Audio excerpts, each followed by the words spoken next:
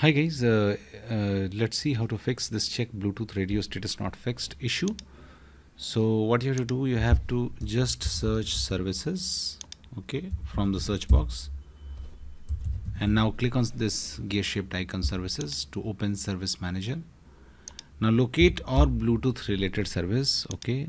So whatever starts with Bluetooth, these services, you have to locate them now double click on them and make sure the service status is running. If they are not running click on start.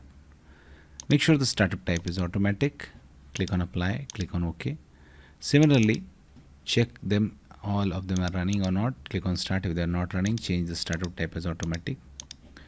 So do this with all bluetooth related services on your computer. And now try again. If this does not fixes your issue let's move to second method. Just search command prompt and right click and click on run as administrator. Click on yes to open it. Now you have to run command sfc slash scan now.